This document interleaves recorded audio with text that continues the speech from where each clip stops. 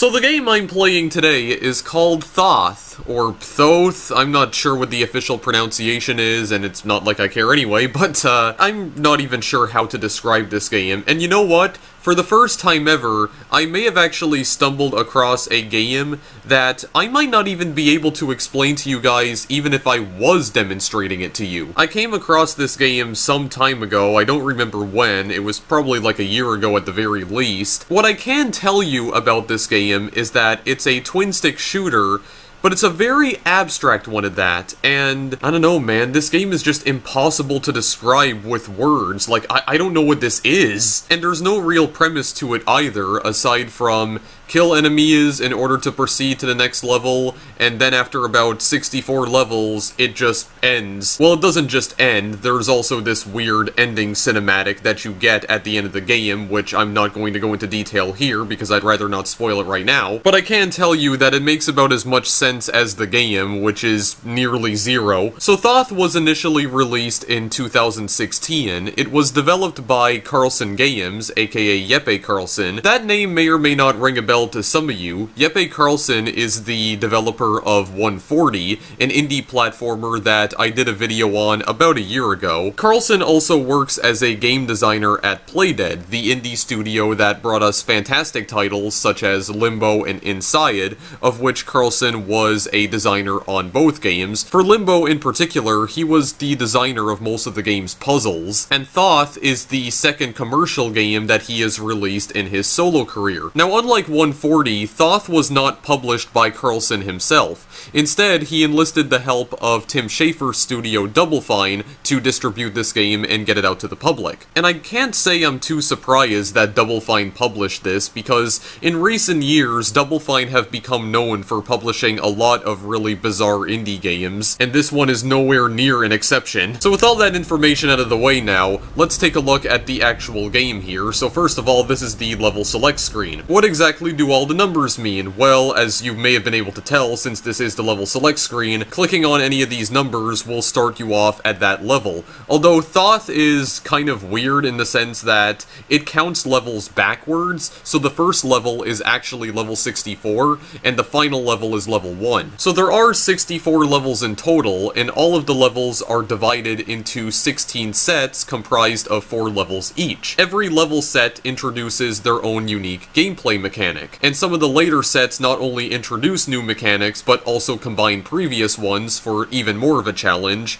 I will say that the game is actually not as difficult as I thought it would be. Thoth was designed to be a brutally difficult game, so much so that the difficulty had to be lowered in later versions. The game was definitely a lot harder than it is now. Also, if you click on these little circles up here, this will change the game mode, so you can select between either single player or co-op, you can actually play co-op on your own. Co-op is still technically a one-player mode, or it's like a mode that you can play with either one or two players. Co-op also has a unique mechanic of its own, which I'm not going to get into right now, I'll probably do that once I finish the game. Thoth is a pretty short experience overall. Most of the levels can be completed in just like 5 to 10 seconds. The game is incredibly fast-paced, so I'll probably be able to get through this in one sitting. And with that said, let's just go to the first level here, which is level 64. Yeah, this circle that's moving around the screen, by the way, that's my cursor, if you weren't able to tell that already. So this little circle right here is, I, I guess, your ship. It can move around in not that many directions. There's only like eight, eight different directions that it can move in, at least if you're using the arrow keys. I do believe you can use, yeah, you can use either WASD or the arrow keys. I do like how it tells you the level that you're currently on in the background. You can see that uh, there's Giant 64 in the background, which means I'm on level 64. So your ship can fire. You can left click in order to do that. You'll notice that you slow down as you're firing. Right now, the enemies are pretty slow. They will try to target you directly. They just kind of float slowly towards you. Of course, you can't touch them, otherwise you will die, and most of the enemies in this game are just simple geometric shapes. The art style definitely reminds me a lot of 140. You can tell just from looking at this picture right here that this is definitely a, a, a Jeppe Carlsen game, if you're even remotely familiar with any of his works. Let's try shooting one of the enemies. So, The way that uh, you kill the enemies in this game is, well, just like most twin-stick shooters, you just shoot at them, and eventually you drain all the color out of them. Now, this is where it gets a little bit interesting. So, the enemies don't exactly die in this game. When you do kill one, it spawns I guess a ghost version of the enemy that you just killed. They're completely void of color, you can actually see outer space inside of them. They move a lot quicker, and they'll just give chase to you until you kill the other enemy right here. So essentially you have to turn all the enemies on screen into ghosts, and then after that you'll just move on to the next stage. It's pretty simple. It's as simple as that. Yeah, I also like how it how it counts down all of the uh, stages as well. It starts off pretty simple at first. You just have this wall in the center of uh, the playing field, or, or the battlefield, I guess you could say. I don't know, whatever the heck you want to call it. The screen just just to, just to make it simpler for people who aren't who aren't as well educated in English. I mean, to be fair, I'm not that well educated in English. I mean, how how many times do I use the word basically and actually, or just how many times do I use like incredibly simple adverbs in all of my videos? Good lord, I'm like the worst English speaker on this planet. I mean, I am Canadian, so maybe it's not that surprising, especially since I come from a, a, a province that is very francophone populated, but whatever. Whatever. It's not even relevant to what exactly we're doing here. So, we already completed the first set, by the way. So, like I said, it's just broken down into uh, 16 sets of 4 levels. We already completed the first one. The second set introduces walls, which is not the most unique mechanic ever. I mean, you know, every every, every video game has walls. Uh, the one at the very end of the second set, or the last level of the second set, there's just a purple wall that moves slowly towards you. It moves so slowly, though, that you'll definitely be able to kill the boss before it even reaches you. So, just slow as molasses. That's a joke that I'm totally not overusing in any of my videos. So the third set right here, you have these blue enemies that will shoot cores at you?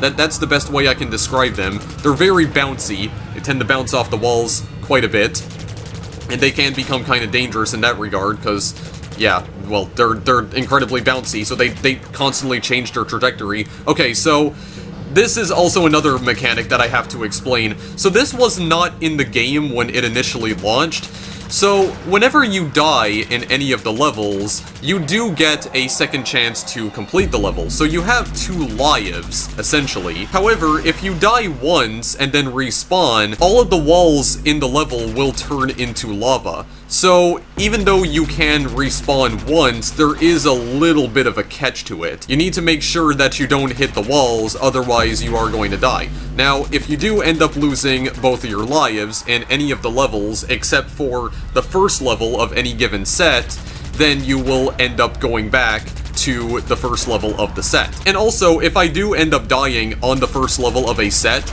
it will not activate the second chance mechanic, so the walls will not turn into lava, it'll just simply reset the level. Sometimes I like doing that on purpose, like deliberately killing myself, so all the walls can turn into lava just to give myself a little bit more of a challenge. There are some levels where it's it's still pretty uh, pretty easy and pretty straightforward to just avoid all the walls, because usually it's just the outside wall that ends up changing, and not really anything else. Okay, I am kind of doing a piss poor job right now, though, because I'm actually... I'm not doing this on purpose here. Like, I'm not purposely trying to get myself killed. Oh, jeez. Yeah, we have rotating walls as well.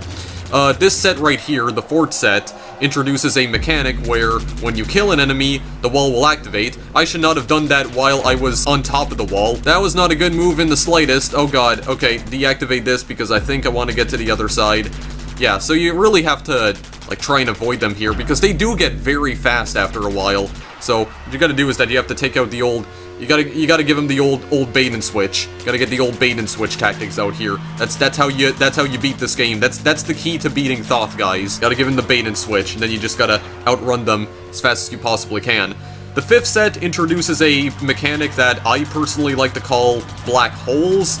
So these guys will expand outwards, and they expand outwards infinitely. They'll eventually consume the entire screen because of that, so you need to try and kill them before that happens. So let's just shrink them down to size. Oh, Jesus Christ. Oh, God. Get away from me, please. Okay, thank you very much.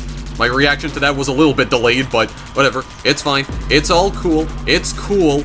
I got you, fam. I got your back. And actually, that's the end of the fifth set already. So the sixth set like I said, this game is incredibly fast-paced. So you have some enemies here that are bound by chains.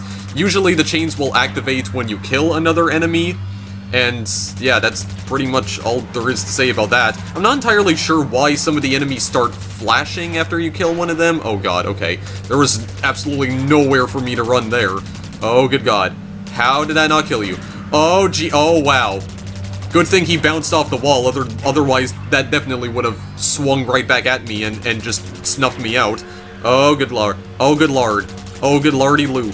Okay, kill him. I, I don't know if the black chains can still kill me, but I'm not taking my chances. Not taking my chances on that. Yeah, then right here it's gonna combine mechanics, where it's gonna shoot cores at me as well. Oh my god. Holy crap, the tight squeezes. Tight squeezes for days. Okay. So that's it for the sixth set. Now the seventh set, you'll also notice that the palette color of uh, all of the levels is changing too with each individual set. So they have their own unique palette swaps. Very nice indeed. Of course, you can't change them manually, which kind of sucks, but this one right here, uh, the 7 set, the mechanic that it introduces here are these, like, spawners. Whenever you shoot an enemy, it will spawn a chain that binds them together. So the chain only appears when you're actually shooting the enemy. Again, it's pretty easy to take care of. Yeah, and then you have the black hole enemies. So this is around the point where it starts combining all of the previous mechanics. And, uh, yeah, there's gonna be no way to kill the black hole now, so I just gotta uh, take him out before it consumes the entire screen. I kind of have to be smart with this one. Yeah, they're gonna they're gonna break off into little pieces. I was not smart with that one. That was not a smart play in the slightest. Oh, good God. Oh, good. Okay, well, that was that. Uh, okay, stop for a moment because I'm I'm saying the word okay a lot again because of my freaking speech patterns.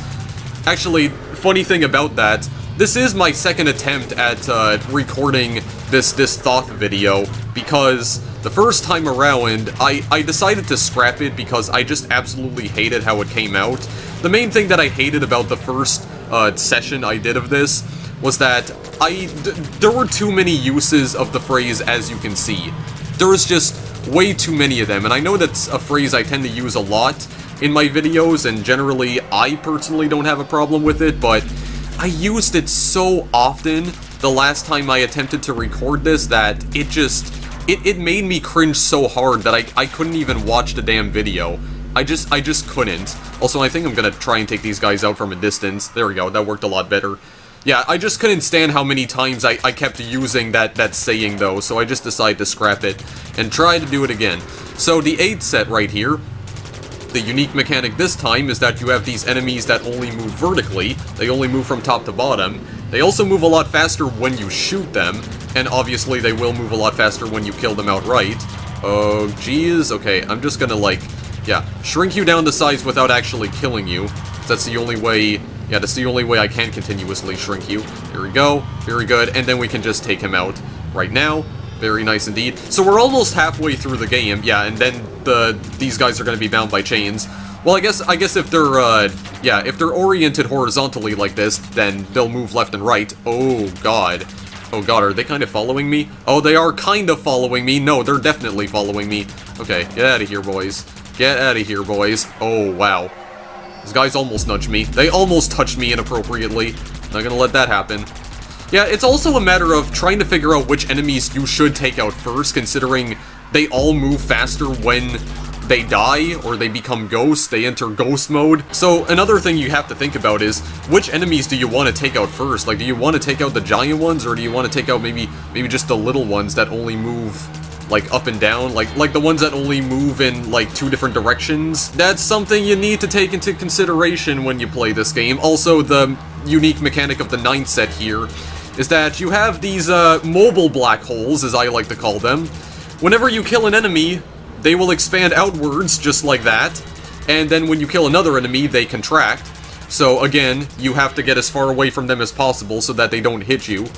So it, it's it's ideal to take the enemies out from a distance, in this case. Also, you, once again, you have the walls that switch on and off, except this time they're green, so I guess it, it's a little bit different. And I, it keeps things fresh a little bit, I guess. Okay, I don't want to go here. I do not want to go here. I think I want to go up this way. Yeah, there we go. And, and another thing you can do is try to kill two enemies at the same time, so that way they don't expand outwards at all. They retain their original their original size, That's the word I was looking for. Very good indeed. Yeah, I just got some more walls. And that's also the end of the 9th set. So the 10th set now. Pretty grim.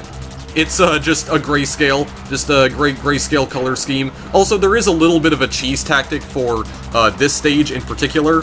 Sometimes when you move to the bottom right corner of the screen, they can't even hit you.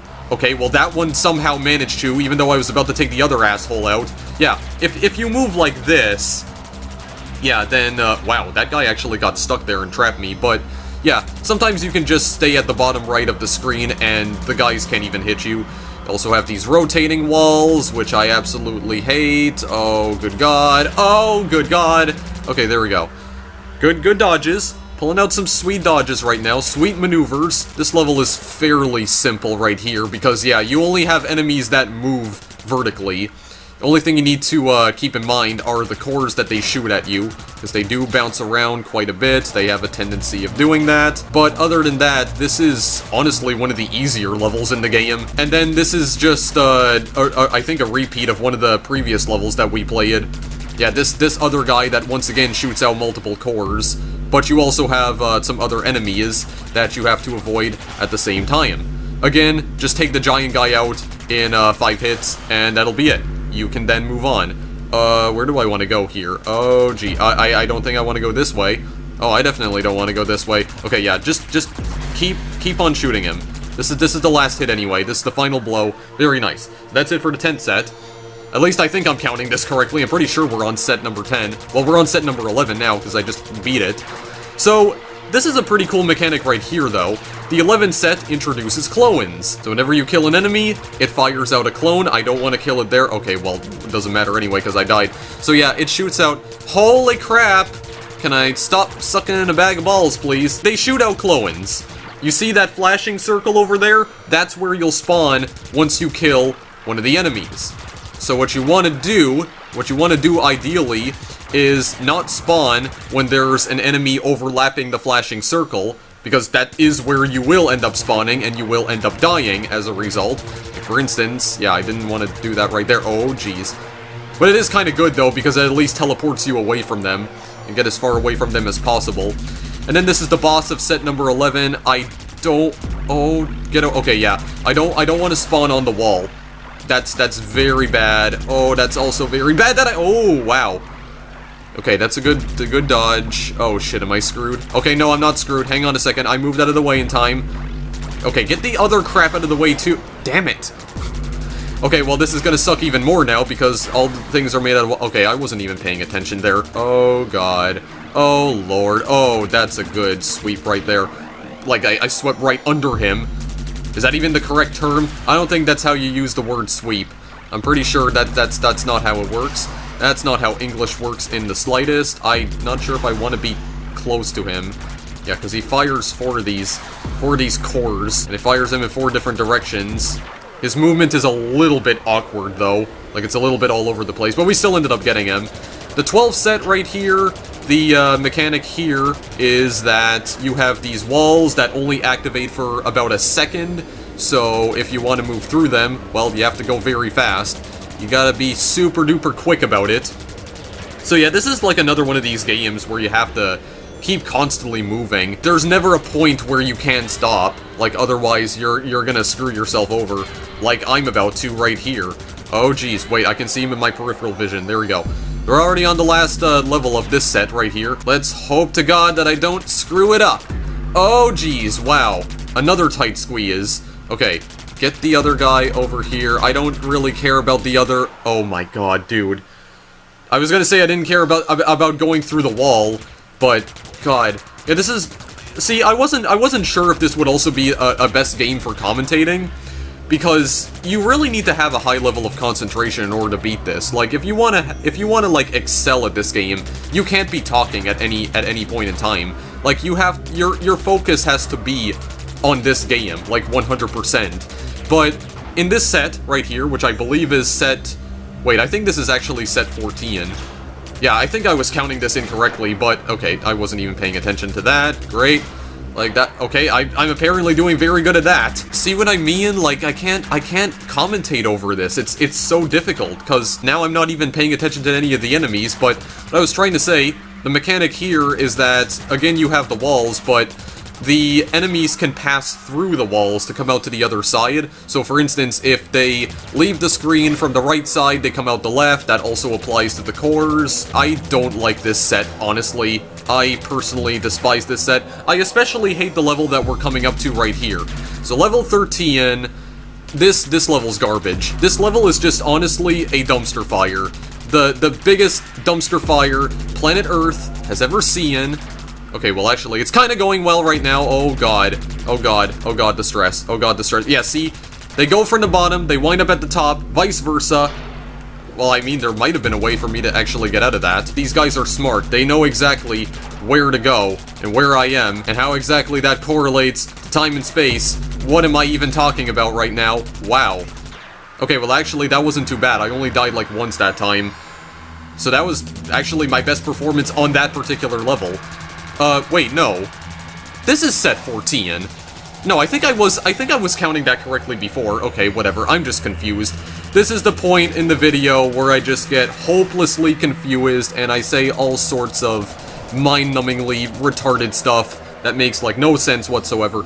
But the gimmick of this level, or this set, I should say, that you have these rotating dots, they will expand when you kill an enemy, they will contract when you kill a second enemy, and what I want to do here is that I want to try and get as far away from them as possible, just like that. Very nice indeed. Yeah, so I don't, like, you, you, there, there is, like, a little bit of a safe space, because as you can see, it doesn't go all the way around, so you can be, like, in, in the, the middle right there. Like, you can stay in the center if you want, that's not re recommended, or I, I at least don't recommend that you do that, because you, you need to keep constantly moving in this game, like you have to, otherwise you are going to die. Unless somehow you can just absolutely cheese things, and, and somehow the enemies don't end up hitting you. But the gimmick of uh, these levels right here is that there is this bar that moves up and down whenever you kill an enemy. Right here, you have to try and kill two enemies at the same time, otherwise the bar at the top of the screen will come around and knock your face off. I was somehow able to do it there. Okay, I'm gonna have to concentrate a little bit. I think I want to go to the other side in order to accomplish this. Okay, very good. As long as these guys are, like, bouncing bouncing off the walls like that, then that's that's ideal for me. Very nice. I had a really hard time when I was recording this, uh, like like in the last session, on, on that particular set right there, because I died, like, at least maybe three or four times. It, it's definitely one of the... Well, actually, I wouldn't say it's one of the harder sets. See, it, it's kind of strange, because the game's difficulty seems to fluctuate wildly. It never seems to stay consistent, especially with these levels right here. Yeah, you had these like weird snake enemies, these little snake-like enemies that you had to that you had to kill. You had to you had to destroy like each individual piece of them. It's actually not the hardest uh, level in the entire game. It's honestly one of the easier ones, I would argue. Yeah, then you just have, again, some clones. Okay, I really did not know where I was supposed to go there. You know what, I'm gonna clone myself right now. Actually, will, will this work if I... Oh, okay, I get it. It it also works when I'm hitting the, the clone enemies. Or, or the core shooting enemies. Okay, move out of the way, please, and thank you, and thank you. Oh, fuck. Okay, I'm getting a little bit, uh, getting a little bit nervous now. Yeah, again, when you shoot this guy, he's just bound by chains. This is, I, I think, like the same boss fight from, uh, the, the grayscale set, as I like to call it. But yeah, the only difference here is that when you shoot him, he's bound by chains. He moves so slowly anyway. Look at this. Not even, not even an issue. Not even an issue. He's so slow. Slow on his feet. God, I think I think he does get larger when you shoot him, though. That's the only thing that kind of worries me about him. I think we'll take him out. There we go. Very nice indeed. And then finally, guys, we are on the last level. And to be honest, this is on a little bit anticlimactic because this is basically like like the recycled uh, boss from set 2. So again, you just uh, blow him off piece by piece. That sounds really strange. Don't think about that sentence too much. That sentence that I just uttered, that came directly out of my mouth hole. But yeah, you have to eliminate him piece by piece. All the pieces start charging at you, but... Honestly, this is probably the easiest level in the game. That's why I say it's anticlimactic. And there you go, guys. That That's it. Game's done. So, yeah. I mean, to be fair, this game nearly gave me a heart attack when I when I beat it the first time. But I mean, you, you, you definitely get used to it after a while. Like, after you've played it a few times, it becomes pretty smooth sailing from there on out. This is just the intro, or, sorry, the outro, and it's just showing you, like, enemies that you've beaten in previous sets, along with all the different color palettes. Just listen to this music. Here, hang on a second. I'm gonna let you guys listen to the music here, and I'm gonna shut my mouth for a brief moment.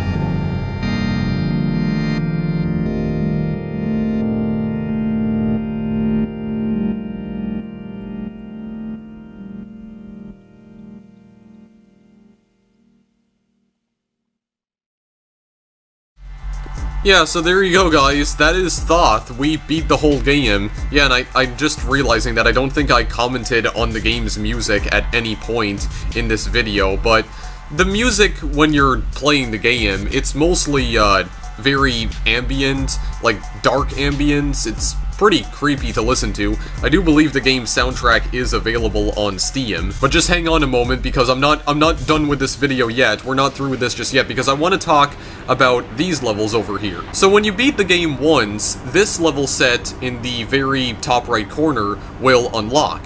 So these two sets right here are randomized level sets. The first option consists of 8 levels, and the second option consists of 12. Now in order to beat these modes, you have to complete all of the levels in one sitting. You can't die once, or I guess you can't lose a level, otherwise you will venture all the way back to the start, and because it's random, you don't get the same level layout every time. It's always different. I do believe these level sets also have their own unique type of enemy, so let me go and uh, load up the uh, 8 random level set right here. Actually, this is...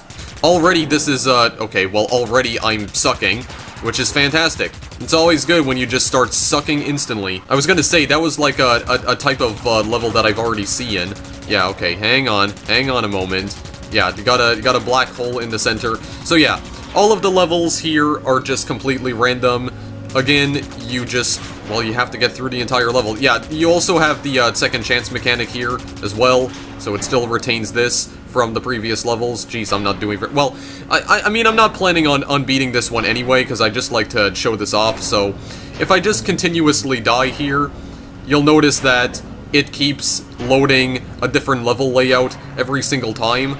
Although they do begin to repeat themselves after a while, because it's not like true randomness. I do believe it, it takes it from like from like predetermined level layouts, but in order to, I guess, keep things fresh, it just it, it sometimes mirrors them, like it'll rotate them so that the uh, starting positions of the enemies are different every single time, or sometimes the walls might be oriented a little bit differently, but it's not like true randomness, it kind of just shuffles in between predetermined level layouts, I, I, think that's a more accurate description of what the randomized level sets are. And if I can find this, like, unique enemy that I'm that I'm referring to, it's not here. Right, so it's this enemy right here. So it breaks off into four separate pieces, and it does that instantly. You don't even have to shoot it. Bit of a tougher enemy to take out, but, yeah, not the most difficult in the world. I mean, the, the individual pieces are a lot easier to kill, because, you know, they're, they're a lot smaller, so they have less health as a result.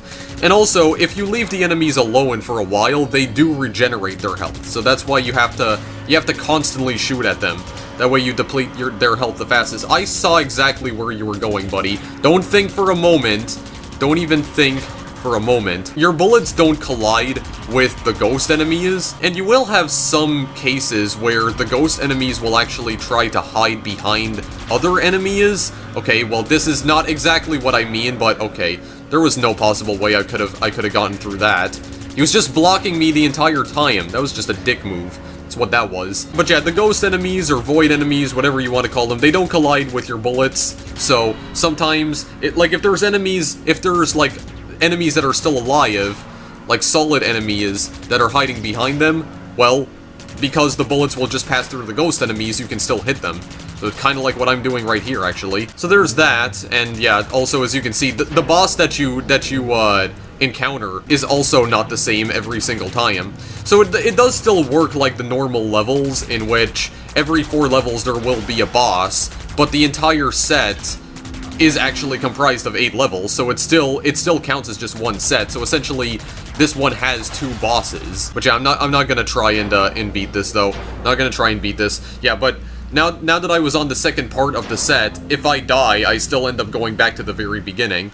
Then we also have the 12 randomized set, or, or the randomized set that consists of 12 levels, which has some uh, other obstacles. This is just like a more difficult version of it.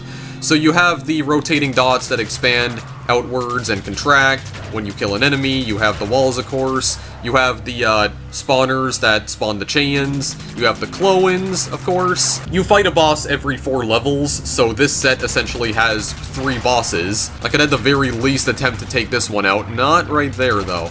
That would be a very bad move. Okay, well that was just a bad move altogether. You know what, fine. Yeah, and you also have the uh, enemies that just only move on one particular axis depending on orientation. Again, it's just it's just randomly generated stuff. Although to be fair, even this mode gets a little bit repetitive after a while because then you you begin to realize that it's just recycling the same layouts over and over.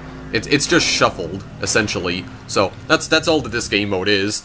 And then this uh, this other 64 right here, I believe when you unlock this one, you have to beat every single level in the game again, but you have to do it in just one run. If you end up losing, then you go all the way back to the start. I think that might be what the uh, 32 option right below it is as well. Or this could also be randomized levels. I'm not entirely sure what this is. Very quickly, I could go into uh, co-op mode here. So you can play this with either one or two players, and the gimmick here, if you're playing with a partner, is that when your partner dies, they too will become a ghost. They will also begin chasing after you, but they speed up very quickly, to the point where you won't even be able to outrun them. The key to getting through this is to try and kill all of the enemies as quickly as possible before they get to your partner. So you gotta try and make sure that you clear out all the enemies before your partner speeds up enough so that they actually have a chance of, uh, of coming, coming at you, like coming to get you. Oh, good god. I don't know if I'm gonna be able to do it here! Oh, wow. Like, right before it touched me as well. And I think this also works as, uh... Okay, yeah, because I if, if I end up dying, yeah, then I also turn into a, a ghost myself. So my co-op partner will stay alive, but then, yeah, that's that's just gonna be it for that. So I guess if you just want a little bit more of a challenge out of the game, you can try this mode by yourself. If the normal game mode was uh, too easy for you, you can try this out with just one player and see how you fare. I, I do believe there is an achievement for uh, beating the co-op mode with only one player, if I'm not mistaken but I think it also requires that you beat all of the levels in one sitting without actually failing. And honestly, I couldn't be bothered with that, because that's just a waste of my time, and I don't, well, I, I don't feel like investing time into that, I should say. I mean, it might not necessarily be a waste of time, but if you want to 100% the game, yeah, you're gonna have to do that. And I think I'm gonna leave the video here, guys, because that's all I have to say about Thoth. That's pretty much everything I wanted to show off. That's practically the entire game for you. Just 64 levels of God even knows what. I have no clue what was happening this entire time. It's got style for sure. Substance, maybe not as much. I mean, I am kind of disappointed that the game was so short. I would have especially liked it if there were more levels that uh, tinkered with some of the other mechanics that were introduced in the earlier sets, because for instance, the snake enemies that we encounter on level 4 right here, so I'll just shoot them so that they can spawn, I wish there were more levels that, that had these kinds of enemies right here, because level 4 is the only level where these kinds of enemies even spawn, so I would have liked it if maybe there were more enemies like this, in like in like more levels. Like maybe if there was an expansion release for this that added more levels into the game and had these kinds of enemies in it to provide even more of a challenge, and also combining this with even more gameplay mechanics from the previous sets to just create absolute chaos. I'm not entirely sure if I agree with the game's difficulty being lowered, because to be honest, Thoth is not really that difficult of a game to begin with. Like, I went into this expecting an extreme challenge, something that I would probably be spending at least a couple hours on, but when I played this the first time, I was able to beat it in about a half hour. And after that, I thought, what now? I mean, not only am I disappointed in the game's incredibly short length, I'm kind of disappointed in its lack of difficulty. I don't know, maybe it's just because I have a lot of experience with twin-stick shooters, because I have spent a lot of time playing games like The Binding of Isaac and Geometry Wars, so maybe it's just because I have experience in this particular genre, maybe that's why it's so simple to me. But I can't understand if it is difficult for players who may not be familiar with this particular video game genre, or haven't, like, uh, spent any time whatsoever, haven't really gotten the chance to delve into a game of this caliber, then yeah, I guess I could understand it then. You know, just try to make the game more accessible to newcomers. I mean, even with the second chance mechanic, I still felt like I was having a pretty easy time either way. And honestly, I wouldn't have an issue if the second chance mechanic didn't exist, because the game really isn't that hard. I don't know, I kind of feel like like the second chance mechanic's a little bit pointless. But that is just my opinion. I do still, uh, I, I definitely like this game for what it is, even if there is not that much to it, but it only costs like $5 on Steam. I'd still say it's worth your 5 bucks. It's still worth that investment. Although if it was priced a little bit higher, then yeah, I'd probably be a little bit pissed. I think $5 is just about the correct asking price for a title of this kind. Art style definitely reminds me of 140. Also, I'm doing well, I was about to say I was going, I was doing a, a, really good job at avoiding these snakes, but then of course I, I get killed instantly, like right before I even say it. Of course I do. Wait, do I have like some sort of gravitational pull on me? Is that why these guys, like, like float towards me? Just because I'm ex exerting some sort of gravitational force on them. Maybe they don't actually want to come near me but but they can't help it because I, I I'm like I'm like too too powerful. Like the gravity is too strong for them. They can't they can't over overcome it. Yeah, I can definitely manipulate their movement like this for sure. Doesn't really appear to have any any sort of use though. You might as well just shoot them. Might as well just shoot them. Get the giant snake enemies out here. Yeah, might as well spawn all three of them back in while I, while I'm attempting to uh, end this video here. So.